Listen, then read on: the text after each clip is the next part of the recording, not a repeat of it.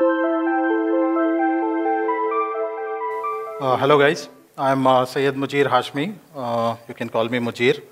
Uh, I'm principal consultant and managing partner at 4C Solutions.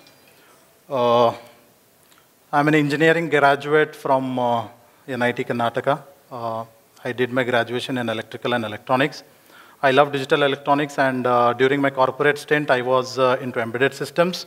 So here's a guy who was, you know, uh, working with oscilloscopes and voltage levels, and then moving to a full stack development, uh, doing uh, HTML, CSS, Bootstrap, and JavaScript, Python, everything.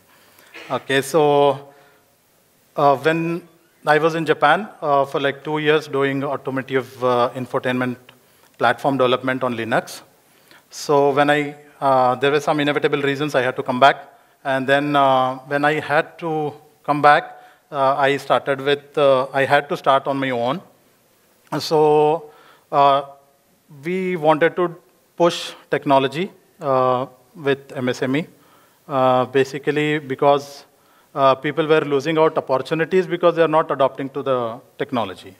Okay, so uh, basically with their process and accounting, they were very weak. So we were looking for solutions which are like cheap and which are open source. Because I come from Linux background, so ERPNext uh, strikes the chord there because uh, uh, they pledge to be open source. Okay, so a big shout out to uh, I mean, Team Frappe and Rushabh especially. Uh, so I just wrote like uh, things, and then we started with healthcare and education sector. So because we wanted to bring in change there, especially in the tier two cities and tier three cities. Okay, but uh, from past uh, like eight to ten months, we are only doing retail and services. Uh, but here we are sharing our uh, experiences uh, with healthcare domain, especially. Uh, again, uh, Ardians, they have done a tremendous job putting it out there into the ERPNext. So when we started with healthcare, there was a,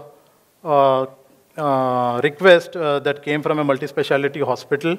So they were uh, turned to COVID center in the first wave. Okay, so their requirement was like uh, very minimal. Uh, so there were not many lab tests. So and there were no outpatient services as well. So what they are doing is like just doing the COVID test, and if he's positive, he gets he gets admitted.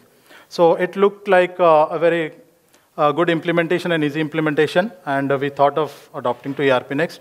But when we started off, uh, we started feeling the challenges because inpatient uh, management in ERPNext uh, was not like completely tested out in production. Okay, uh, there were some challenges like uh, inpatient occupancy itself is uh, not one line item. It is usually a product bundle. You know, they have the room rent, and then, I mean, room charges, and then they have nursing charges, primary doctor charges. So they bundle up to be one item per day that is getting charged. So that was something which was uh, not coming out of the box. Uh, so we had to do, uh, we, we used product bundles to uh, handle that. And then uh, there was no scope of adding IP services. Uh, like there are a lot of IP services that a patient gets when he is admitted into the hospital, which they usually track in a IP record.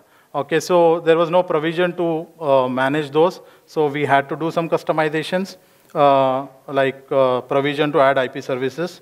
Uh, and uh, they wanted uh, reporting also, uh, like what is the total amount of services that were given. I mean, the uh, whatever the bill would turn out to be.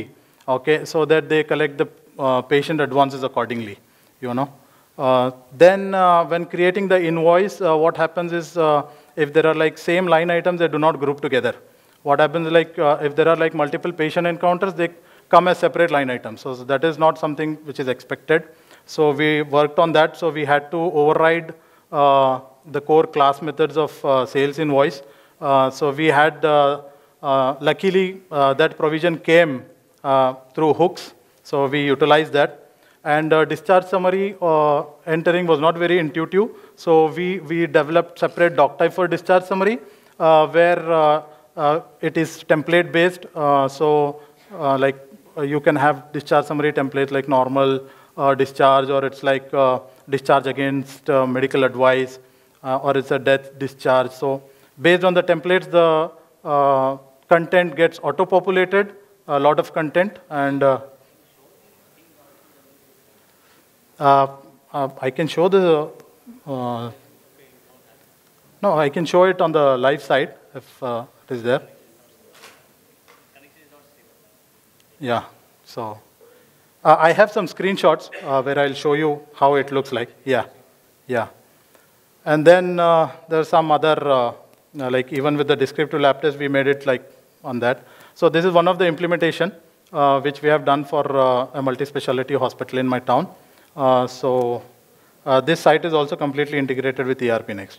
Now this is the report I was talking to you about, uh, which shows what is the total inpatients and what is the invoiced amount, what is the paid amount, what is outstanding, which is not, un, I mean, uninvoiced amount. So whatever services are being given, but still not yet invoiced, and uh, then what are the advances the patient has uh, paid, and what is the closing balance. So based on uh, such kind of report, the operations of the hospital work. So then there was this uh, show detail button here. So you click on the show detail button. So it will uh, list out what are those uh, IP services that are Uh, yet to be built. Okay, and the rates also. Uh, and uh, this was another customization uh, which we have also raised a pull request for this. Uh, so some of uh, people have used, but it is, I mean, it is not merged, but this was a requirement where the lab test, you know, selectively you can select and, yeah, combine together.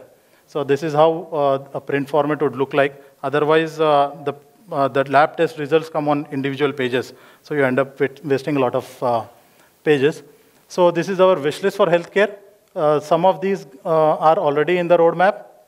Uh, some we also are doing some customizations and working with team at Frappe and other players who are into this closely with them.